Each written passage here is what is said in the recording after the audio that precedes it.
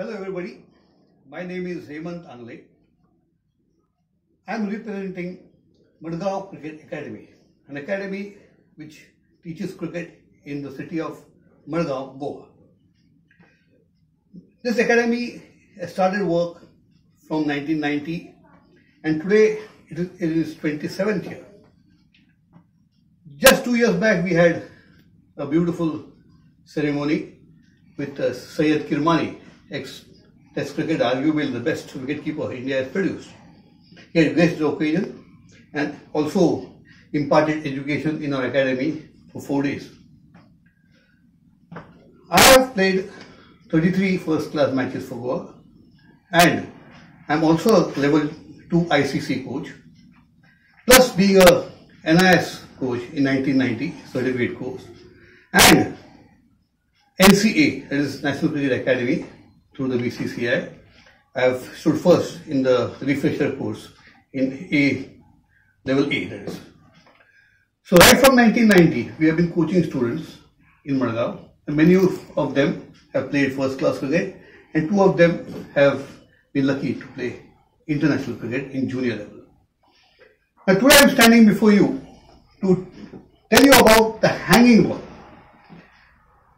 What, how you can play on the hanging ball when you're not on the ground. On the ground you are there for around say two hours, three hours, but what about after that?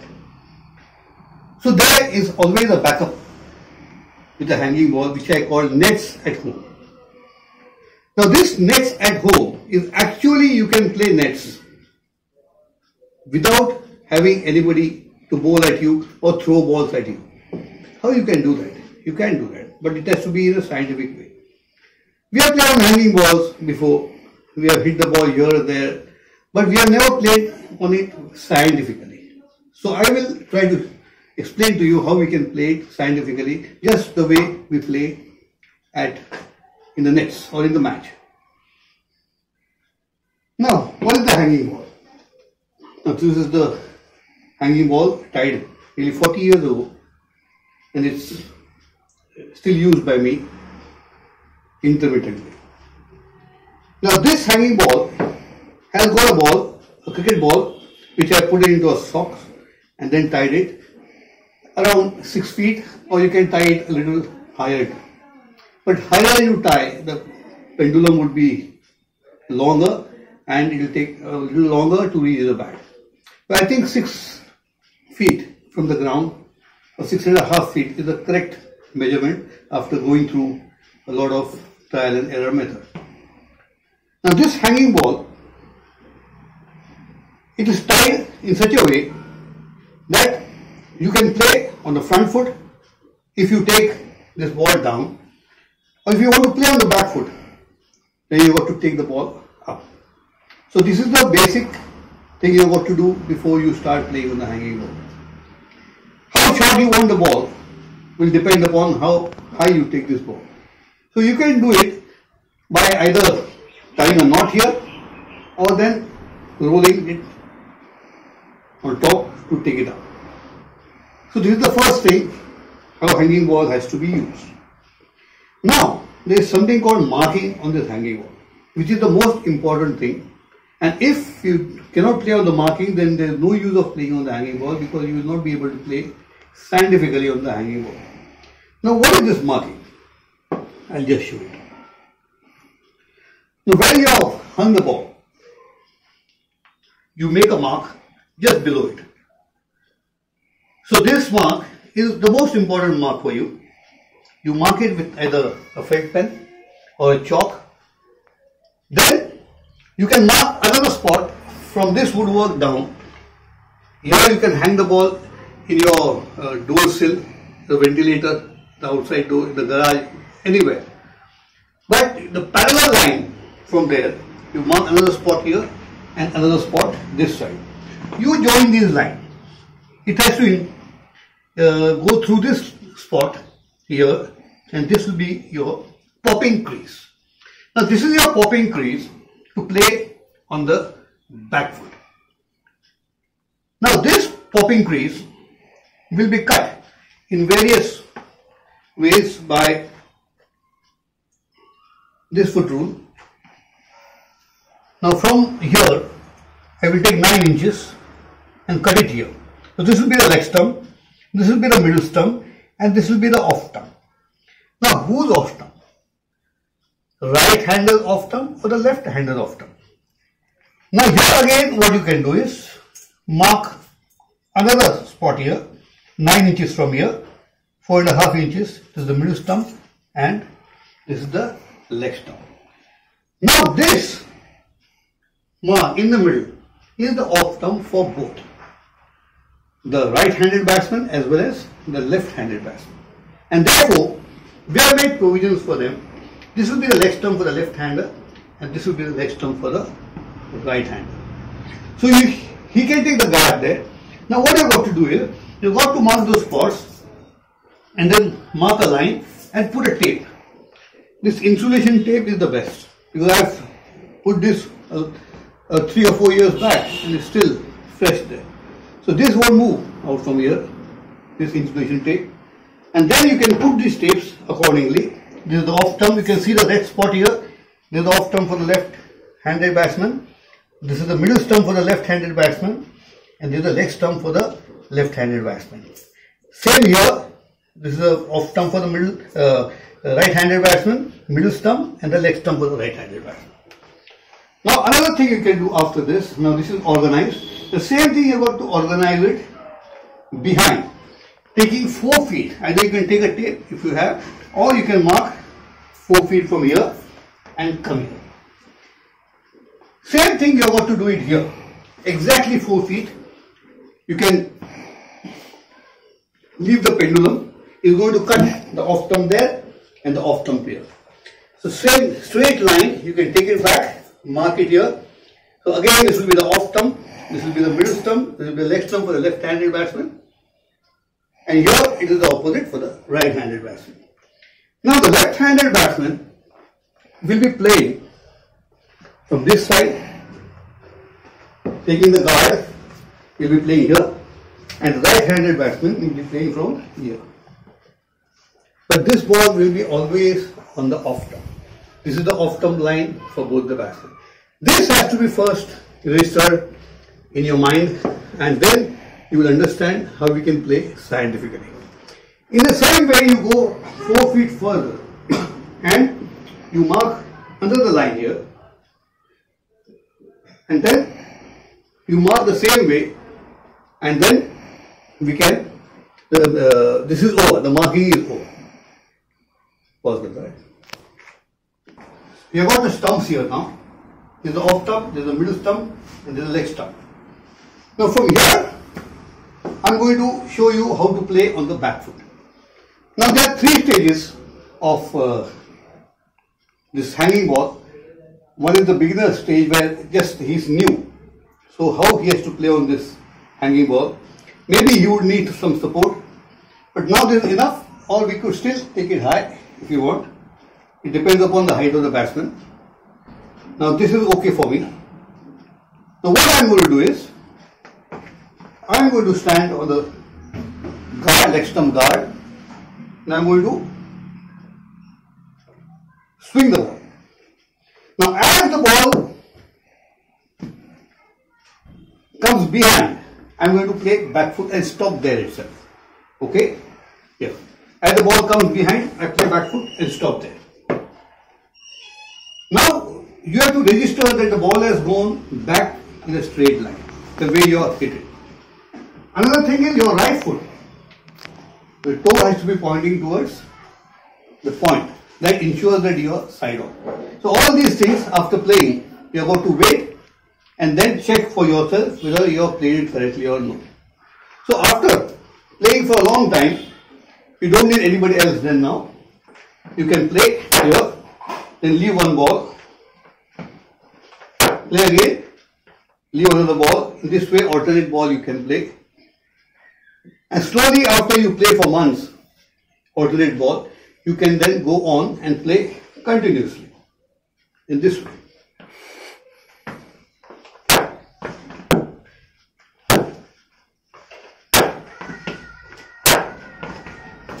Ensure that the ball goes straight. You come back, come back. So the ball will go straight.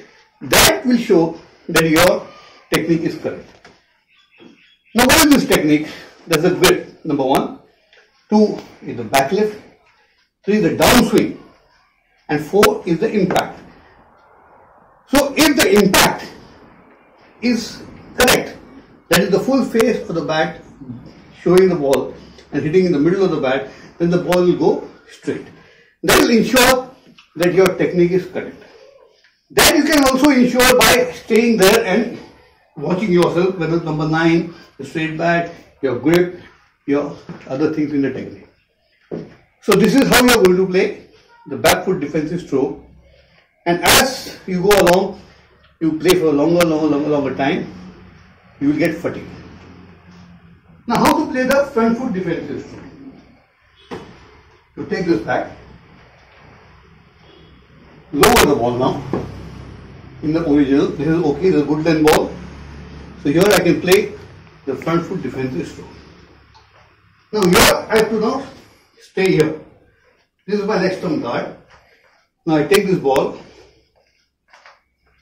and I swing it. I'm ready. Once the ball comes here towards you, you wait there. You ensure that the ball goes straight. Now you must have seen this marking, there's another marking here, which is an oblique line. One is green and one is red. Now this oblique line is for your foot to come near it. If your foot comes near it, left is right foot, then it will be ensured that you are coming near to the pitch of the ball. So then you can play and smother the ball down there. So try to bring the ball, uh, your leg towards that oblique line, play the ball and stop there itself. And watch yourself whether you are playing the ball correctly or no. As you have played the back foot, you play the front foot, stop there. If somebody else is there, you ask him to check you out. Again, you can play this by leaving the alternate ball. Leave. Play. The ball going straight. Now after some time, after a month or so, you think that you are playing okay, you can play continuously.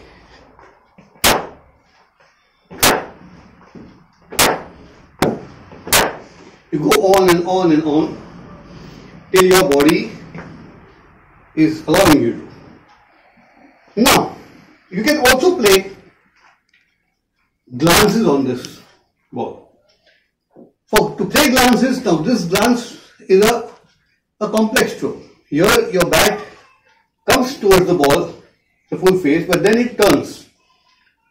And uh, you want the ball to go elsewhere, not straight back, but towards square leg to fine leg. You play the glances. Now how to play the glances? Again, back foot glance, you take it up. Here you do not take it very high because you can also play the ball which is a little short of a good length. Now here the wicket will come closer. Now this is the off stump line. But for the glance, we need the leg stump line or outside the leg stump line. So what can I do? I change the stump. Now this becomes the leg stump line. The ball is on the leg stump now. Here. You're going to hit the leg stump. Or if the ball is turning towards you, it's going to miss the leg stump. So you leave the ball, go back and glance it. Again, practice it because you cannot play this continuously. Here. Slowly you find that you are glancing the ball correctly and the ball is going very near to the stumps and that means you are doing it correctly. Now how will you glance on the front foot? Now this is a short of a good length ball, it's a bit lower down. This is a good length ball.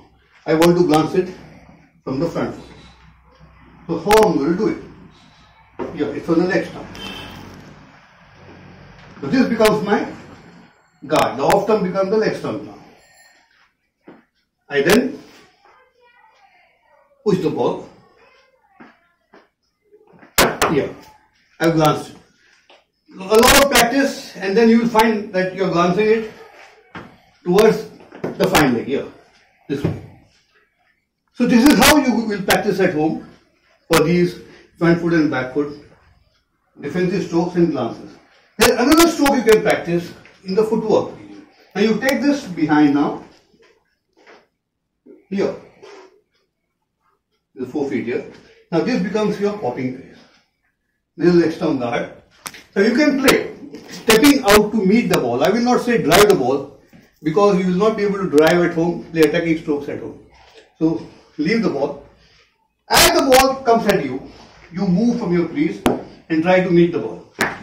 Here.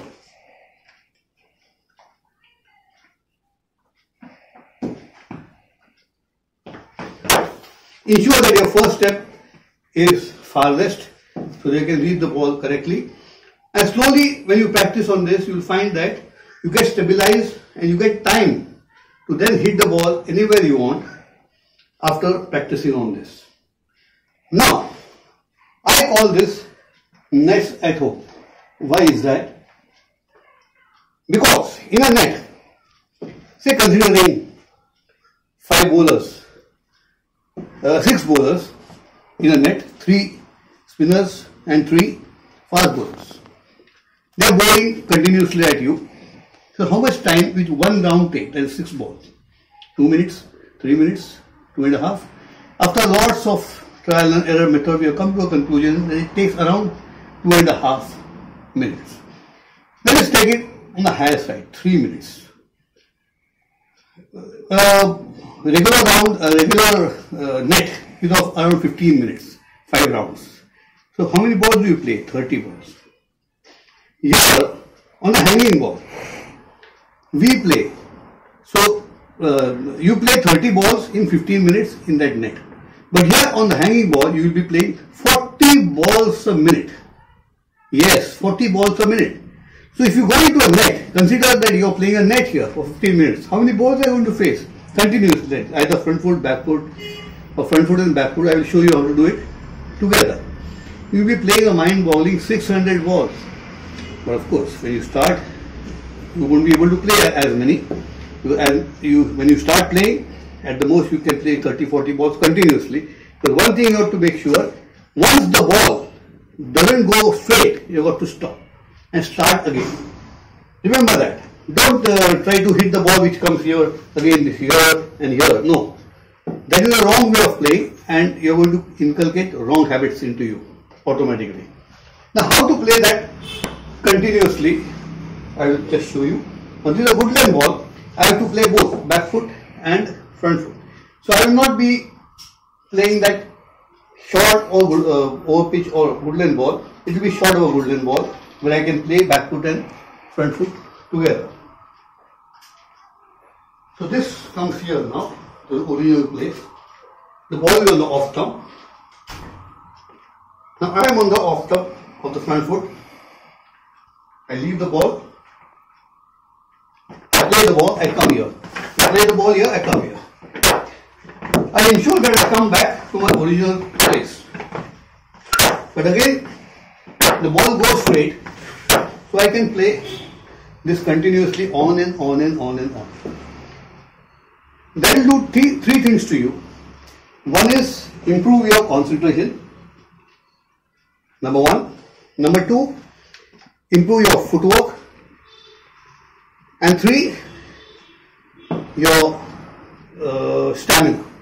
You can play for a very long time.